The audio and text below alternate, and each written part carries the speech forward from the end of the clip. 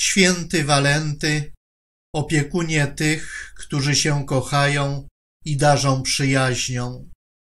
Ty, który z narażeniem życia urzeczywistniłeś i głosiłeś ewangeliczne przesłanie pokoju.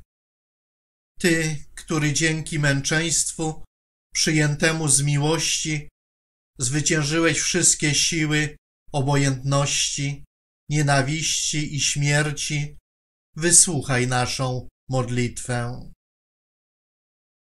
W obliczu rozdarć i podziałów na świecie daj nam zawsze kochać miłością pozbawioną egoizmu, abyśmy byli pośród ludzi wiernymi świadkami miłości Boga. Niech ożywiają w nas miłość, przyjaźń i zaufanie, które pozwolą nam przezwyciężyć życiowe przeszkody.